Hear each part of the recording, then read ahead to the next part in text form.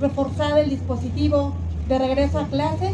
Eh, informarles que tenemos un total de más de 80 elementos que se encuentran en más de 14 vialidades importantes de la ciudad, como es el Boulevard 5 de Mayo, 31 Poniente, Boulevard Hermano Cerdán, 11 Sur, también en Avenida Las Torres, en el Boulevard 18 de Noviembre, en Valsequillo, en Avenida San Claudio, en Circunvalación algunas otras vialidades en donde de manera específica pues, se encuentra el tránsito de varias escuelas y tiene como finalidad efectivamente darle seguridad a todos los peatones, a todos los estudiantes.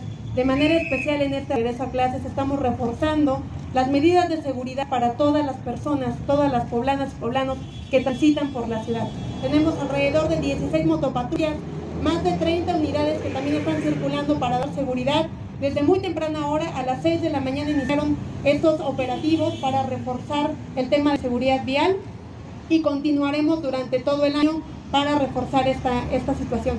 Informarles que el compromiso de esta Secretaría es justamente con la vía, darle seguridad a los peatones, seguridad a todas las personas que transitan por la ciudad. Muchas gracias.